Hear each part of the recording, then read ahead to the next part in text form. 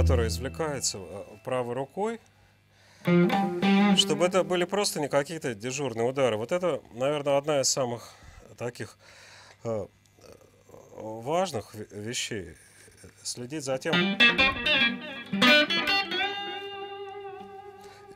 И левой рукой тоже вибрация. То есть э, очень важно, чтобы звук всегда оставался живой.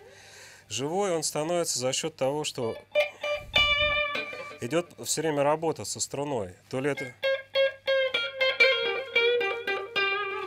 То есть вот звук очень во многом зависит от атаки. А атака – это то, как медиатор встречается со струной, с какой скоростью, под каким углом. И это очень важно. Поэтому вот э, это так называемое, это э, одним словом называется звукоизвлечение. То есть вот оно в правой руке, и плюс потом уже, когда нота вз... звучит, уже дальше работает левая рука. Но левая рука, она может или вибрацию добавить просто, или, допустим, скольж... скольжение делать.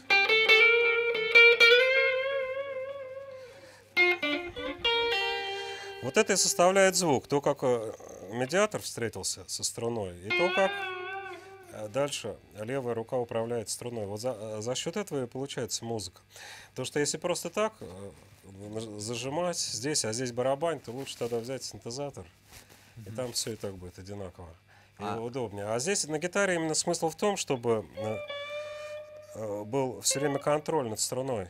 То есть нужно вот этот момент все время чувствовать и не забывать, что вот мы не просто вот ударяем, а мы из, издаем звук. И все это вот от правой руки идет. И вообще не обязательно медиатором играть, а можно играть пальцами. Очень хорошо.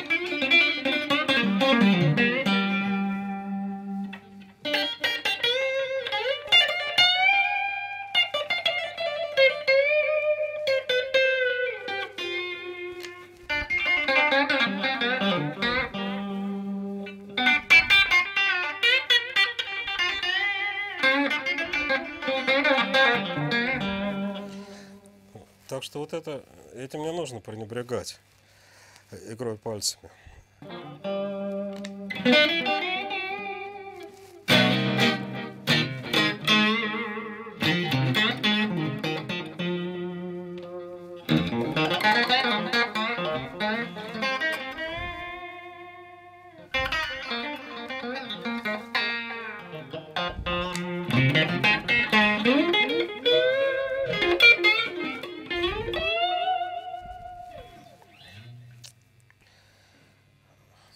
Допустим, самые простые рифы. Вот это рок-песня.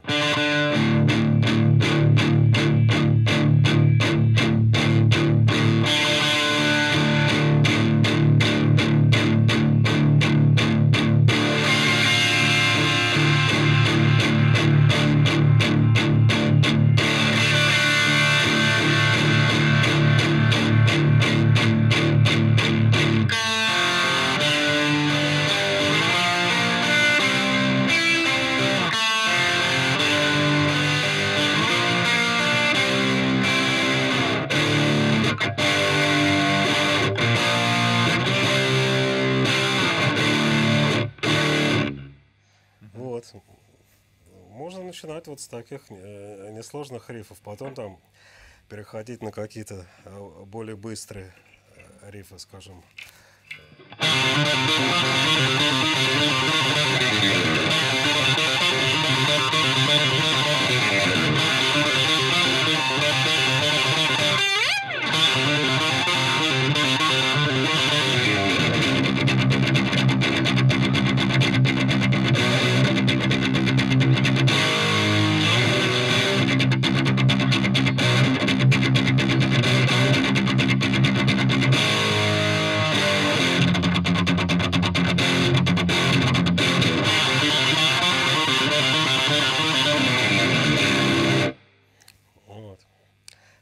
Все постепенно, начиная с, э, с более простых и потом на более быстрые.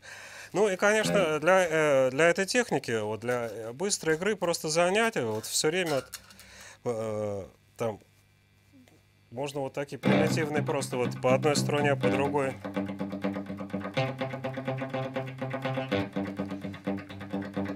И вот так вот очень-очень долго. Каждый день. Каждый день, да, по несколько часов. Но, наверное, так нужно начинать. Иначе этого штриха не будет. Вот он э, появляется только от количества повторений. Вот его, кстати, хорошо э, репетировать вот с опорой на струну. Тот самый э, так называемый сильный удар, который с опорой, который основным является. Потом уже это не обязательно, потом это может быть сразу по нескольким струнам.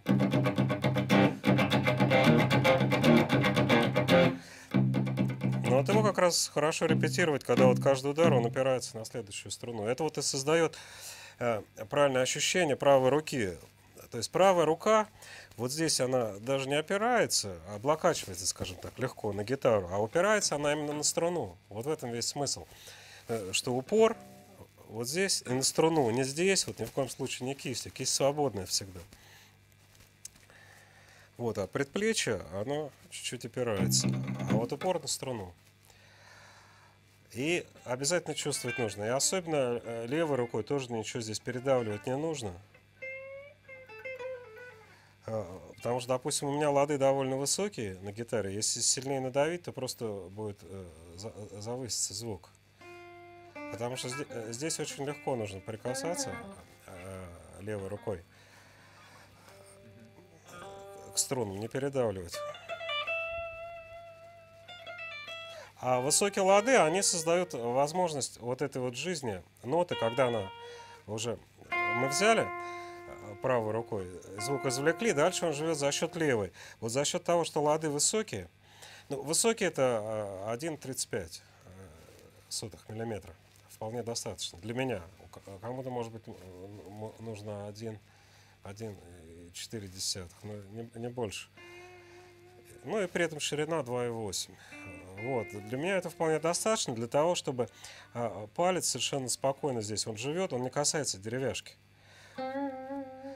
А, не касается деревяшки, поэтому такая э, э, вибрация получается глубокая, какая угодно, то есть струна под контролем. Если лады вот штатные стоят, э, такие низкие для кантри-музыки, которые стоят обычно на штатных стратокастерах, то там, конечно, проблемы. Там уже вот так ты не покачаешь, потому что подушечка пальца начинает задевать за дерево, и вот эта свобода, она теряется.